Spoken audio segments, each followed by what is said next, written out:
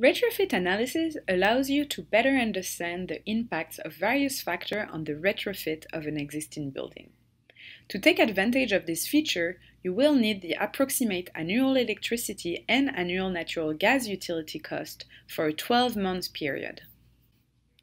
Open your conceptual model. Note that your model of the building to be retrofitted does not need to be very detailed at this stage. However, if working in Revit, you can include any known information about the project, such as building use type, operating schedule, thermal properties of the wall, roof, or window, etc. In many cases, these details are hard to determine, but even using Insight's default setting will still provide you with valuable guidance when considering retrofit features for your project.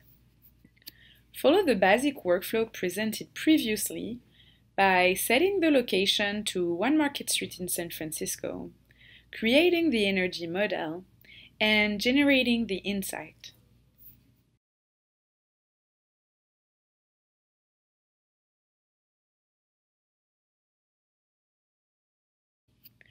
When the analysis is complete, access the results of the simulation in the Insight interface from any of the three options described in the basic workflow.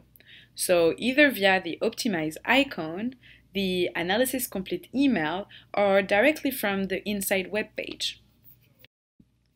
Move the analyzed model to a new Insight collection called Retrofit Project. It is recommended that you update the currency and utility rate as needed before performing the retrofit analysis. To do this, you can click on the setting icon on the right panel. Under Currency and Utility Rate, you can choose the currency from a drop-down menu. You can click on the utility rates to open the utility rate dialog window. And in this example, we will use the default currency and utility rates. Click on the model to open the menu of options and click on Retrofit Analysis. This will open the Building Retrofit Analysis dialog window. Enter the 31st of July 2016 at the end date of the annual utility billing period. Note that the end date must be at least six months prior to the current date. This is a requirement from the weather service that provide the actual measured weather data from the time period. Also enter the annual cost for the electricity. In this case, $70,000 for the cost for natural gas and $18,000 for the billing period. Then click on Generate. It can take several minutes for the analysis to begin. The retrofit model will appear as a second model with the banner across the thumbnail view on the model indicating retrofit. By default, the model will have the same name as the original analyzed model, so let's give this model a unique name by clicking on the model menu and choosing rename. In this case, call it retrofit model. Navigate to the model comparison icon on the right-hand setting panel. You'll notice on the model comparison chart that the bar on the left representing the retrofit building has a white tick on. This new benchmark value is called actual value. It represents the actual cost of the existing building based upon the annual utility building data you enter, as well as the energy consumption of the simulation using the actual weather data for the period you specified. You can mouse over the bar to see more detail.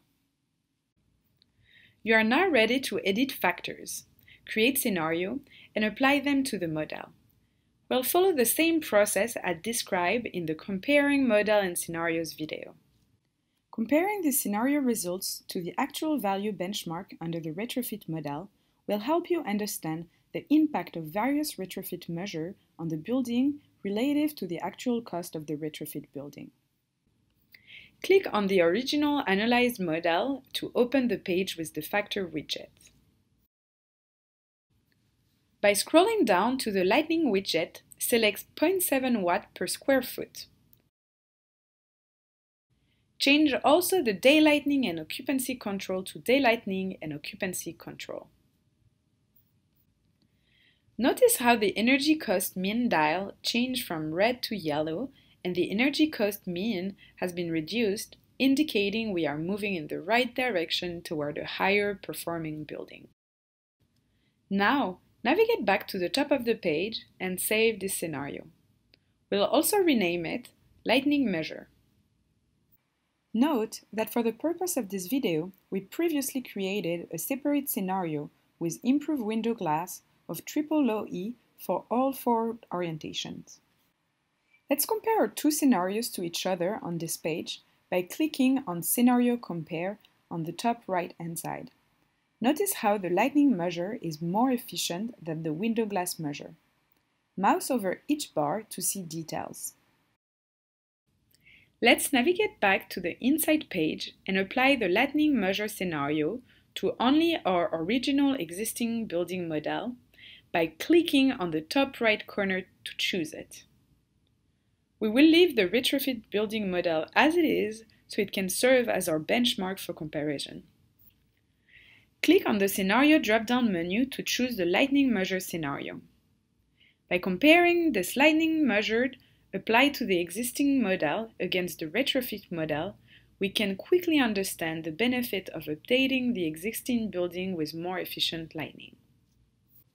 By hovering on each bar of the model comparison, you can compare the scenario results to the actual value benchmark on the retrofit model.